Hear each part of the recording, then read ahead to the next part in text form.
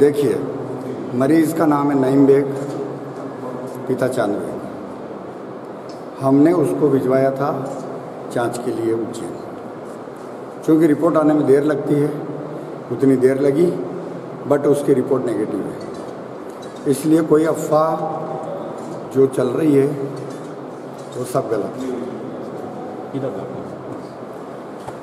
जैसा कि बता दें, आप मेरे संज्ञान में कुछ आया था कि उस जगह हमने स्टॉपर लागे हैं, क्योंकि शहर में आउटर साइड से भी टू व्हीलर और फोर व्हीलर जैसा कि एसडीएम साहब ने पहले बताया था कि महितपुर तरफ़ से आए हैं। तो हमने आज बैरियर डल स्टॉपर्स डलवाए हैं टी आई साहब श्याम सिंह शर्मा जी ने, और कुछ इंटरनल जगह भी स्टॉपर डलवाए हैं।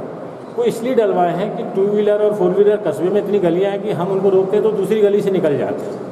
तो ऐसे असामाजिक तत्वों को जो अनावश्यक रूप से टू व्हीलर और फोर व्हीलर लेकर निकल रहे हैं, उन पर हम कल से और पकड़ लगाएँगे। इसलिए हमने स्टॉपर लगाएँगे वहाँ पर आदमी को घेर के उसको नसीहत दी जा सके और वैधानिक कार्रवाई की जा सके कि अनावश्यक रूप से टू व्हीलर फोर व्हीलर तो अलाउ ही नहीं है। मैंने बताया, इसलिए यहाँ पे स्टॉपर लगा के तो हम अपना फोर्स लगाएँगे और कल से और तगड़े इंतज़ाम इनकी चेकिंग में लगाएँगे। Thank you sir